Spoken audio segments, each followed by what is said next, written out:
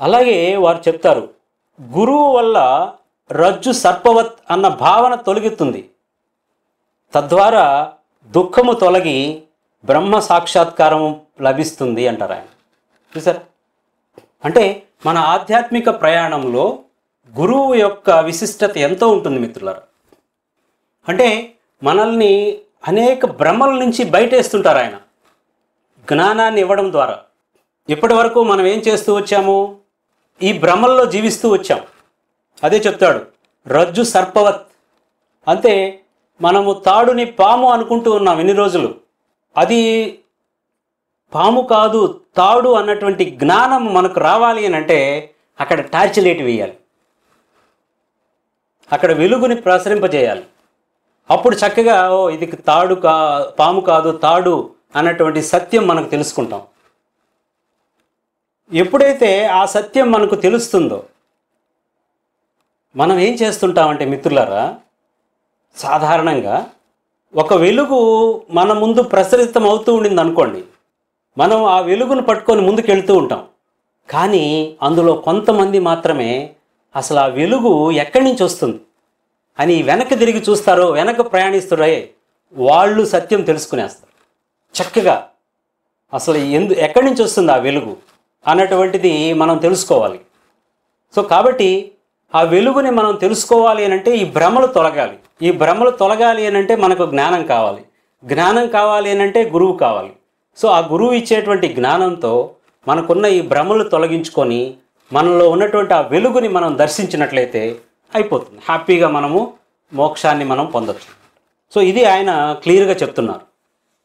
అలాగే మరికొన్ని అంశాలు ఆయన చాలా క్లియర్గా చెప్తారు. ఒక్కొక్క శ్లోకము ఒక అమృత తుల్యం. గుర్తుంచుకోండి ఫ్రెండ్స్. శంకర్ భగవత్పాదుల దగ్గర నుంచి వచ్చేటువంటి ఒక్కొక్క శ్లోకము ఎన్నో శోకాలను తీర్చేస్తుంది మిత్రులారా. దూరం చేస్తుంది. సరి అయిన గురువు హితబోధ వల్ల సరి అయిన తత్వజ్ఞాన విచారణ వల్ల తప్ప ఏ ఇతర సాధనలు అనగా పుణ్యకార్యాలు దానాలు ఈ ప్రాణాయామము యోగము వీటి వల్ల మోక్ష ప్రాప్తి కలగదు అని చెప్తున్నారు ఆయన. చూసారా? అంటే సరి అయిన గురువుతో మనకు దొరకాలి సరి అయిన సాధన కొనసాగాలి. గుర్తుంచుకోండి ఫ్రెండ్స్. సో ఇవి రెండు మోక్ష ప్రాప్తికి హేతువులు. మనకు ఆ రెండు ఉన్నాయి. సరి అయిన గురువు మనకున్నారు పత్రిజీ గారి రూపంలో. సరి అయిన సాధన మనకుంది ధ్యానం రూపంలో. సో ఈ రెండింటిని మనము విశ్వసించి నమ్మి మన సాధనను కొనసాగిస్తే ఎందుకు దొరకదు మోక్షం? ఎందుకు లభించదు మన జీవితంలో ఆనందం? సో వీటిని వదిలిపెట్టి నేను అది చేశాను నేను పుణ్యకార్యాలు చేశాను నేను నదీ స్థానాలు చేశాను. సో ఇవన్నీ చేస్తున్నాను నాకు మోక్షం వచ్చేస్తుంది అని అంటే అది దుర్లభం రాదు. గుర్తుంచుకోండి ఫ్రెండ్స్. ఒక్క తీవ్ర సాధన చేసేవాడు మాత్రమే మోక్ష ప్రాప్తిని పొందగలడు తప్ప ఇతరులు కాదు. క్లియర్గా చెప్తున్నారు ఆయన. తీవ్రమైన సాధన. పత్రి గారు చెప్తారు. గంటలు గంటలు గంటలు గంటలు గంటలు సాధన చేయమంటారు ఆయన. ఇక్కడ ఒక చిన్న ఎగ్జాంపుల్ చెప్తాను మిత్రులు. ఇతరు ఇటీవల ఒక మిత్రుడు ఎవరో ఫోన్ చేశారు నాకు. ఫోన్ చేసి సార్ నేను నాకు ఆత్మదర్శనం కావాలంటే నేనేం చేయాలి? బాబు ఏముంది? రోజుకు ఒక ఐదు నుంచి ఏడు గంటలు ధ్యానం చేయని చెప్పి. అతను వెంటనే పక్క పక్క పక్క నవ్వాడు. నవ్వి సార్ అది ఎట్ట కుదురుతుంది సార్? మేము ఆఫీసులకు పోవాలా ఆ పనులు చేయాలా ఈ పనులు చేయాలా? అని అన్నాడు. అరే బాబు నీకు అది కుదరకపోతే ఇది కూడా కుదరదు. అంతే కదా? ఎంత సాధనో అంత ఫలితం. మన లక్ష్యమేమో ఆత్మసిద్ధి సాధనేమో కొద్ది. అంటే రోజుకి అరగంటో అంటే ఎవరి వయసు ఎంతో అన్ని నిమిషాలు. అంటే ఇది ప్రాథమికంగా గురువుగారు ఎందుకు చెప్పారనంటే మన భౌతిక జీవితంలో ప్రశాంతంగా హ్యాపీగా మనశ్శాంతితో జీవించడానికే అది. ఎవరి వయసు ఎంతో? అన్ని నిమిషాలు రోజుకి రెండు సార్లు. నాకు జబ్బులు ఉన్నాయి ప్రాబ్లమ్స్ ఉన్నాయి కుటుంబ సమస్యలు ఉన్నాయి ఇంకా రకరకాల సమస్యలు ఉన్నాయి నేను ఆత్మను తెలుసుకోవాలి అని అంటే ఇది సరిపోదు. మరింత సాధన మనం చేయాలి. మనం ఎంతో సాధన మనము చేయాలి మిత్రులారు.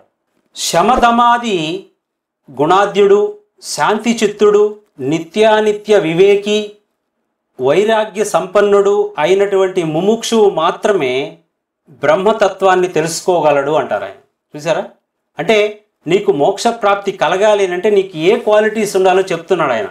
శమధమాది గుణాద్యుడు అంటే బాహ్యేంద్రియాలను అంతరేంద్రియాలను రెండింటిని తన అదుపులో ఉంచుకున్నటువంటి వ్యక్తి శాంత చిత్తుడు అంటే మనస్సు అన్ని వేళలా ప్రశాంతంగా ఉంచుకోగలిగినటువంటి వారు. నిత్యానిత్య వివేకి. ఏది శాశ్వతము ఏది అశాశ్వతము? ఏది నిత్యము ఏది అనిత్యము? ఏది సత్యము ఏది అసత్యము? చూసారా? ఈ యొక్క వివేకము ఈ జ్ఞానము కలిగినటువంటి వ్యక్తి అలాగే వైరాగ్య సంపన్నుడు. గుర్తుంచుకోండి ఫ్రెండ్స్ ఇది అండర్లైన్ వైరాగ్యం. అంటే వైరాగ్యము లేనిదే నీ జీవితంలో వైభోగం దొరకదు. మనం ఏమనుకుంటుంటాము అని అంటే వైరాగ్యము అని అంటే అన్నీ వదిలిపెట్టి వెళ్ళిపోవడము అన్నీ వదులుకొని వెళ్ళడం కాదు. గుర్తుంచుకోండి ఫ్రెండ్స్. అన్నిటితో జీవిస్తూనే అన్ని అందాలను ఆస్వాదిస్తూనే మన జీవితాన్ని ఆనందంగా గడపాలి. అంటే అటాచ్మెంట్ విత్ డిటాచ్మెంట్. ఇది వైరాగ్యం అంటే. అంటే లోపల వైరాగ్యము బయట వైభోగం. ఈ సత్యం మనం తెలుసుకోవాలి. సో అలాంటి వైరాగ్యం మనకు ఉండాలి ఒక వైరాగ్యంలో ఉన్న వ్యక్తే ఆనందంగా జీవించగలడు. ఇప్పుడు ఫర్ ఎగ్జాంపుల్ మీరు డాక్టర్ దగ్గరికి వెళ్ళారు. డాక్టర్ గారు నీకు ఇంకా పది రోజులే టైం. నువ్వు ఈ శరీరాన్ని వదిలిపెడతావు నాయన అని అంటే ఈ పది రోజులు ఎంత అద్భుతంగా ఎంజాయ్ చేస్తారు? చూసారా? సో అలాగా మనము లోపల వైరాగ్యం ఉండాలి బయట వైభోగంగా మనం జీవించగలగాలి. లోపల వైరాగ్యం ఉన్నప్పుడే బయట వైభోగంగా ఉంటాం. కాబట్టి ఒక ముముక్షువుకి ఉండవలసినటువంటి ప్రధానమైనటువంటి ద బేసిక్ క్వాలిటీస్ చెప్తున్నారు ఇక్కడ శంకరాచార్యుల వారు. ఏంటి? శమధమాది గుణాద్యుడు బాహ్యేంద్రియాలని అంతరేంద్రియాలని తన వశం చేసుకున్నటువంటి వాడు. శాంతచిత్తుడు. ప్రశాంతమైనటువంటి మనస్సు కలిగినటువంటి వాడు. నిత్యానిత్య వివే వివేకి. ఏది శాశ్వతమో ఏది అశాశ్వతమో అన్నటువంటి జ్ఞానం కలిగినటువంటి వాడు వైరాగ్య సంపన్నుడు. సో వీడు మాత్రమే ముముక్షువు. ఆ ముముక్షువు మాత్రమే బ్రహ్మతత్వాన్ని పొందగలడు అని చెప్తున్నారు ఆయన. అలాగే ఇంకొకటి క్లియర్గా చెప్తారు. మోక్ష కారణ సాధనలలో భక్తి అత్యంత ముఖ్యమైనది మోక్ష సాధనలలో భక్తి అనేది అత్యంత ముఖ్యమైనది మిత్రులారా. స్వస్వరూప సంధానం అనగా నేను ఎవరిని అన్న ప్రశ్నకు సమాధానం తెలుసుకోవాలనే తీవ్రమైన తపనే భక్తి అంటారు ఆయన. చూడండి. మనం భక్తి అంటే ఏమనుకుంటున్నాం ఇప్పటి వరకు ఆ గుడికెళ్ళి దేవుణ్ణి పూజించడమో లేదా ఇంట్లో రోజు దీపం పెట్టడమో లేదంటే అప్పుడప్పుడు నైవేద్యాలు ఇయడమో పూజలు చేయడము అభిషేకాలు చేయడము ఇది భక్తి అని అనుకుంటున్నాం మనం ఇప్పటిదాకా. కానీ అసలైన భక్తి అది కాదు.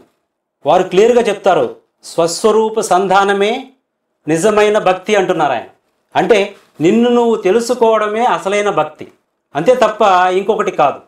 నేను ఎవరు అని క్వశ్చన్ వేసుకోవాలి కూర్చోవాలి ధ్యానంలో. మూడు గంటలు నాలుగు గంటలు కూర్చుంటే అప్పుడు మనకు ఆ స్వస్వరూప సంధానం తెలుస్తుంది. నీవు ఎవరు అన్న సత్యాన్ని మన లోపలే మనం వెతకాలి. మన లోపల ఎవరో కాదు ఉండేది. మనమే నేనే ఉన్నాను అన్న సత్యం మనం తెలుసుకోవాలి. అది ఎవరో చెప్పగా వినడం ద్వారా పుస్తకాలు చదవడం ద్వారా తెలుసుకోవడం కాదు. స్వయంగా అనుభూతి చెందాలి. స్వయంగా అనుభూతి చెందాలి తెలుసుకోవాలి. అప్పుడు మాత్రమే ఎస్ అదే నిజమైన భక్తి అంటున్నారు ఆయన.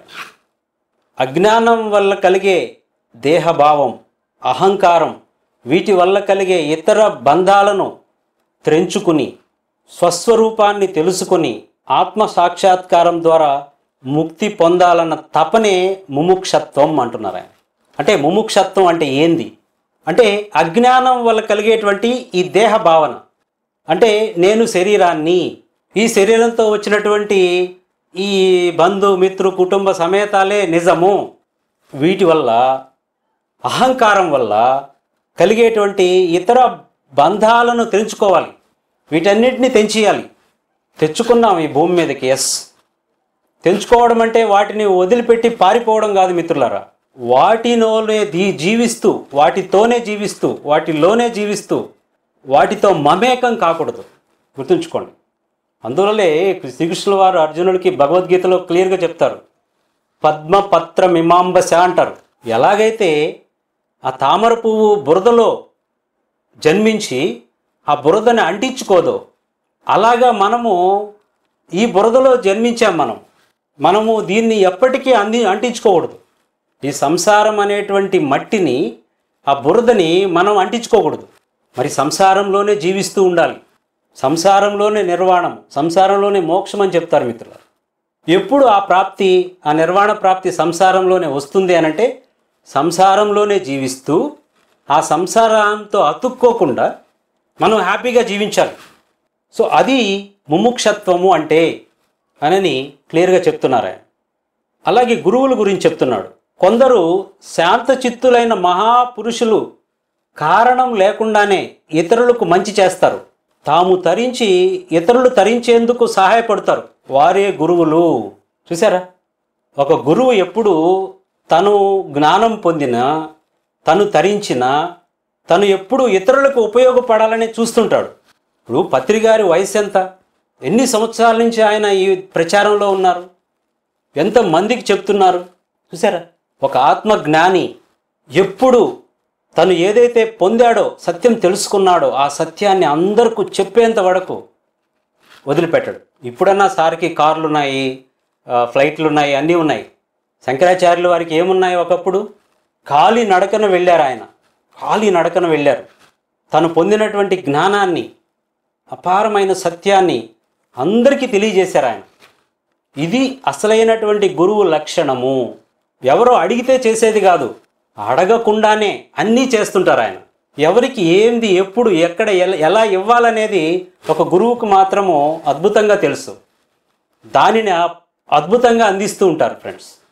సో అలాంటి గురువు మనకు లభించినందుకు మనము అన్ని వేళలా వారికి కృతజ్ఞతలు. తర్వాత శ్రద్ధ భక్తి ధ్యానం యోగం. వీటిని నిరంతరం అభ్యాసం చేసిన సాధకుడు అజ్ఞానం వల్ల కలిగిన శరీర భయం నుండి విముక్తి పొంది మోక్ష ప్రాప్తి చేరువవుతాడు. చూసారు? ఏముండాలి? శ్రద్ధ భక్తి ధ్యానం యోగం. ఇవి ఉండాలి. శ్రద్ధ ఉండాలి. మనం ఏ పనైతే చేస్తున్నామో దీని పట్ల శ్రద్ధ ఉండాలి. అలాగే భక్తి ఉండాలి. చూసారు నేను తెలుసుకునే తీరుతాను.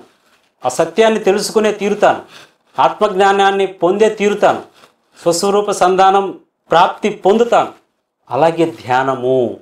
ధ్యానం అనే సాధన ద్వారా మనము ఇవన్నీ సత్యాలను మనము చక్కగా తెలుసుకుంటాము. యోగం. యోగం అంటే మనతో మనం ఎప్పుడూ కలిసి ఉండడం. ఒక్క ధ్యానం చేసినప్పుడే కాదు మనతో ఉండాల్సింది. కళ్ళు మూసుకున్నప్పుడే కాదు కళ్ళు తెరిసినప్పుడు కూడా మనతో మనం ఉండగలగాలి. అది యోగం అంటే. ధ్యానం చేసిన ఆ గంట రెండు గంటలో మనతో మనం ఉంటూ ధ్యానం నుంచి లేచిన తర్వాత మనము వేరే ఆ, ఈ రకరకాలుగా మనం ప్రవర్తించకూడదు. అన్ని వేళలా మనతో మనం ఉండాలి. సో వీటి వలన నిరంతర అభ్యాసం చేసినటువంటి సాధకుడు గుర్తుంచుకోండి ఫ్రెండ్స్. ఏం కావాలి? నిరంతర అభ్యాసం. ప్రతిరోజు చేయాలి సాధన. ఒకరోజు చేసి రెండో రోజు చే చేయకుండా కాదు. రోజు సాధన చేసేవాడు మాత్రమే ఈ అజ్ఞానం కలిగినటువంటి ఈ భ్రమలన్నీ తొలగిపోతాయి. తొలగిపోయి ఆ మోక్ష ప్రాప్తి లభిస్తుంది అంటారు తర్వాత అజ్ఞానం వల్లనే నీవు జనన మరణ సంసార చక్రంలో పడి శరీరంతో తదాత్మం చెంది నేనే పనిచేసే కర్తని నేనే అనుభవించే భోక్తను అని అనుకుంటున్నావు. ఆత్మజ్ఞానం అనే అగ్ని వల్ల మాత్రమే ఆ అజ్ఞానం సమూలంగా దగ్ధమై స్వస్వరూప జ్ఞానం మీకు లభిస్తుంది అంటున్నారు. అంటే మనకున్నటువంటి ఆ అజ్ఞానం వల్లనే నేను అన్నటువంటి అహంకారం వల్లనే ఇదంతా నేనే చేస్తున్నాను ఇదంతా అనుభవిస్తున్నది నేనే అంతా నాకే అంతా నేనే అంతా నాదే అన్నటువంటి ఆ భ్రమలో మనం జీవిస్తూ ఉన్నాం. మనము చేసే ప్రతి కర్మ ఈ నేను అన్నటువంటిది మేను కాదు. నేను అంటే ఆత్మ అన్నటువంటి స్థితిలో మనం చేస్తూ ఉండాలి ఎప్పుడు. గుర్తుంచుకోండి ఫ్రెండ్స్. ఒక్క ఆత్మజ్ఞానం వల్ల మాత్రమే అజ్ఞానం తొలగుతుంది. నో అదర్వే ఆత్మజ్ఞానం మనకు కలగాలి అని అంటే దానికి తగిన సాధన చేయాలి. ధ్యానం చేస్తేనే మనకు ఆ సాధన ఆ- ఆ ఆత్మజ్ఞాన ప్రాప్తి కలుగుతుంది. అలాగే శిష్యుడు ఒక గురువుని ఎలా ప్రార్థించాలి ఎలా అడగాలి అనేది చెప్తున్నాడు ఎలా ప్రశ్నించాలి అనేది చెప్తున్నాడు. స్వామి బంధం అనగానేమి? అది ఎలా కలుగుతుంది? అది ఎందుకు కొనసాగుతూ ఉంది? దాని నుండి తప్పుకోవడం ఎలా? ఆత్మ అంటే ఏమిటి? అనాత్మ అంటే ఏమిటి? జీవాత్మ అంటే ఏమిటి? పరమాత్మ ఎవరు? జీవాత్మ పరమాత్మను ఎలా తెలుసుకుంటుంది? దయచేసి వీటిని నివృత్తి చేయండి. ఇవండి ఒక గురువుని మనం ప్రశ్నించాల్సినటువంటి ప్రశ్నలు. చూసారా? మనం ఎప్పుడైనా ఇలాంటి ప్రశ్నల్ని మనం గురువు గారికి సంధించామా? పరిప్రశ్నలుగా వీటిని అడిగామా? చెక్ చేసుకుందాం ఒక్కసారి. మనం గురువులకి ఫోన్లు చేసి అడిగే ప్రశ్నలు ఏంటి ఎస్ నాకు పలానా అనారోగ్యం ఉంది ఎలా పోతుంది? మా పిల్లలకి పెళ్ళిళ్ళు కాలేదు. చూసారు నేను ఇల్లు కట్టుకోవాలంటే ఏం చేయాలి? అంటే మన ప్రశ్నలు ఇలా ఉన్నాయి. గుర్తుంచుకోండి ఫ్రెండ్స్. అంటే ఒక గురువు దగ్గర నుంచి మనము పొందాల్సింది ఏంటి? అద్భుతమైన ఆత్మ జ్ఞానం పొందాలి. ఇక్కడ ఇంకొక సత్యం మనం తెలుసుకోవాలి ఫ్రెండ్స్. అదేంటి సార్? అవన్నీ లేకుండా ఇవంటే కష్టం కదా అనుకోవచ్చు. ఎస్. మీరు ఎప్పుడైతే ఆత్మజ్ఞానం కోసం తప్పిస్తారో మిగతావన్నీ ఆటోమేటిక్గా జరిగిపోతాయి. చూసారా జెసస్ క్రైస్తు క్లియర్గా చెప్తారు. అంటే దేవుని రాజ్యంలోకి ప్రవేశించడం వరకే నీ పని. మిగతావన్నీ ఆటోమేటిక్గా జరిగిపోతాయి అంటారు ఆయన. ఎప్పుడైతే మన లక్ష్యము ఆత్మజ్ఞానం అయి ఉంటుందో అప్పుడు మనం ఇంతకుముందు చెప్పుకున్నామే. ఆరోగ్యము ఐశ్వర్యము ఆ సంతోషము ఇవన్నీ సమకూరుతాయి. ఇప్పుడు ఒక పిల్లోడున్నాడు. మీ పుత్రుడు కావచ్చు పుత్రిక కావచ్చు. వారి లక్ష్యం ఏంటి? అమెరికాలో ఒక మంచి సాఫ్ట్వేర్ కంపెనీలో ఉద్యోగం చేయాలి. సో ఎప్పుడైతే ఆ లక్ష్యం కోసం తను పని చేస్తూ ఉంటారో మిగతావన్నీ జరిగిపోతుంటాయి. ఆ వాడు నేను టెన్త్ క్లాస్ ఫస్ట్లో పాస్ అవ్వాలి ఇంటర్మీడియట్ డిక్షన్ డిస్టింక్షన్ రావాలి బీటెక్ మంచి కాలేజీలో చదవాలి మంచి మార్కులతో పాస్ అవ్వాలి ఇవన్నీ అనవసరము. ఒక్కటే లక్ష్యం. నేను అమెరికాలో మంచి ఉద్యోగంలో సెటిల్ అవ్వాలి. ఆ లక్ష్యము వీటన్నిటిని ఆటోమేటిక్గా నెరవేరుస్తుంది మిత్రుల అలాగే ఒక ముముక్షు యొక్క ప్రధాన లక్ష్యము ఏదై ఉండాలి? ఆత్మజ్ఞాన ప్రాప్తి స్వస్వరూప సంధానము అని ఎప్పుడైతే తన లక్ష్యం పెట్టుకుంటాడో మిగతావన్నీ ఆటోమేటిక్గా వచ్చేస్తాయి. హ్యాపీగా వస్తాయి. ఆ విశ్వాసం కలిగి ఉండాలి మీరు గుర్తుంచుకోండి. ఆ విశ్వాసం లేకపోతే ఇవేవి రావు. ఇవేవి రావు. ఇవే కాదు ఏవి రావు. సో కాబట్టి అంతటి సాధన మనం చేయాలి. అలాంటి ప్రశ్నలను మాత్రమే మనం గురువు గారిని అడగాలి. ఇప్పుడు మన ప్రధానమంత్రి గారు నరేంద్ర మోడీ గారు మీ ఊరికి వచ్చారు ఏదో ఓపెనింగ్కి. వచ్చినప్పుడు మనము ఆయన్ని ఆయనకు ఒక రిక్వెస్ట్ పెట్టాలి. ఒక అప్లికేషన్ ఇవ్వాలి. ఏమి ఇస్తాము సార్ మా వీధికి ఒక రోడ్డు లేదు సార్. చాలా సంవత్సరాలుగా రోడ్డు వేయట్లేదు. ఆ రోడ్డు వేయించండి. సో ఇలాంటివి మనము నరేంద్ర మోడీ గారిని అడగాల? సో వారిని ఏం అడగాలి? వారి స్థాయికి తగినటువంటివి వారిని అడగాలి మనం. గుర్తుంచుకోండి ఫ్రెండ్స్. ఇప్పుడు ధ్యానంలో కూర్చున్నాము. శివ సాక్షాత్కారం జరిగింది. విష్ణువు కనిపించాడు.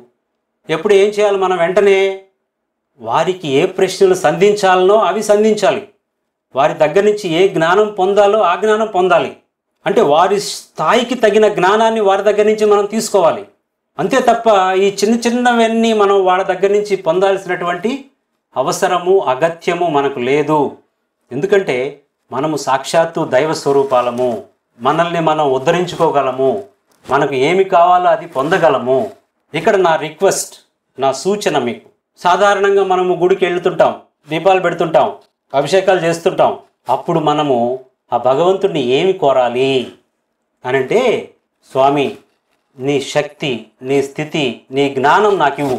ఇది అడగాలి మిత్రులారు. అంతేగాని మా పిల్లకి పెళ్ళి కావాలి మాకు ఇల్లు కావాలి నా కొడుక్కి ఉద్యోగం కావాలి ఇవి కాదు అడగాల్సింది. ఎప్పుడైతే వారి స్థితి వారి శక్తి స్థితి జ్ఞానం మనకు అందుతుందో అప్పుడు ఇవన్నీ హ్యాపీగా జరిగిపోతాయి. ఎప్పుడైతే వారి శక్తి స్థితి జ్ఞానం మనకు అందుతుందో వారు మనకు ప్రేమతో ఇస్తారో అప్పుడు వారు మనం అయిపోతాము నా యూట్యూబ్ ఛానల్లో ఏమి కోరాలి ఎలా కోరాలి అనే ఒక ఆడియో ఉంది. చూడండి చక్కగా. మనకు తెలుస్తుంది ఎవరిని ఏం కోరాలి ఎప్పుడు కోరాలి ఎలా కోరాలి. ఇది తెలుసుకోవాలి. తల మీద ఉన్న భారాన్ని ఇతరులు తొలగిస్తారు. కానీ తలలోని భారాన్ని నువ్వే తొలగించుకోవాలి. చూసారు ఎంత చక్కగా క్లియర్గా చెప్తున్నారు ఈయన? మన తల మీద ఉన్న మూటల్ని ఎవరో ఒకరు దించేస్తారు కిందకి. బాబు రానాయన హెల్ప్ చేయంటే లోపల పెట్టుకొని వచ్చిన దాన్ని ఎవరు దించుతారు? మనమే దించుకోవాలి. మనమే వాటిని శుద్ధి చేసుకోవాలి. ఆ భారాలని భవబంధాలని వీటన్నింటినీ మనమే తగ్గించుకోవాలి. మనమే కట్ చేసుకోవాలి. సో కాబట్టి ఆ భారాలన్నీ తగ్గితే కానీ మనకు ఆ మోక్ష ప్రాప్తి లభించదు. మనం పైనుంచి ఎంత ప్యూర్గా ఎంత లెస్ లగేజీతో ఇక్కడికి వచ్చామో అంతే ప్యూర్గా అంత లెస్ లగేజీతో మనం ఇక్కడి నుంచి వెళ్ళాలి పైకి. Less luggage more comfortable. గుర్తుంచుకోండి ఎప్పుడు ఇది ఫార్ములా. అది భౌతిక ప్రయాణమైనా ఆధ్యాత్మిక ప్రయాణమైనా సరే. మనం ఎంత పవిత్రంగా ఇక్కడికి వచ్చామో ఇక్కడికి వచ్చి కొన్ని ఆపాదించుకున్నాం కొన్ని తెచ్చుకున్నాం అవి లేకపోతే అనుభవాలు లేవు అనుభూతులు లేవు. సో మనం వెళ్ళేటప్పుడు వాటితో వెళ్ళకూడదు మళ్ళా. వాటన్నిటిని ఇక్కడే విడిచిపెట్టి మనం హ్యాపీగా ఉన్నత లోకాలకు వెళ్ళిపోవాలి. సో కాబట్టి మన లోపల భారాన్ని మనమే తగ్గించుకోవాలి తప్ప ఇంకెవ్వరూ తగ్గించలేరు. కాబట్టి గురువు ఏం చేస్తాడు? అవి తగ్గించుకునేందుకు మార్గం చెప్తాడు. బాబు ఇలా చేస్తే నీకు ఈ భారం తగ్గుతుంది. ఇలా చేస్తే ఈ ఈ- ఈ ఫలితం నీకు వస్తుంది అని చక్కగా ఆయన మనకు దారి చూపిస్తాడు. మరి ఈ జ్ఞాన ప్రవాహం వారిది ఒక్క రోజుతో ఆగదు. చాలా ఉంది ఫ్రెండ్స్ చాలా ఉంది. వారి నుంచి జాలువారినటువంటి ప్రతి ఆణిముత్యము ప్రతి బుక్ కూడా అద్భుతమైన జ్ఞానాన్ని అందిస్తుంది మిత్రులారా. అద్భుతమైన జ్ఞానాన్ని ఇస్తుంది. సో మనం చక్కగా దీ కొనసాగింపు వచ్చే వారం మనం కొనసాగిద్దాము. మరి ఇంతటి అద్భుతమైన అవకాశాన్ని ఇచ్చినటువంటి పరమాత్మ స్వరూపులందరికీ ధన్యవాదాలు. శంకర్ భగవత్పాదుల వారికి కృతజ్ఞతలు.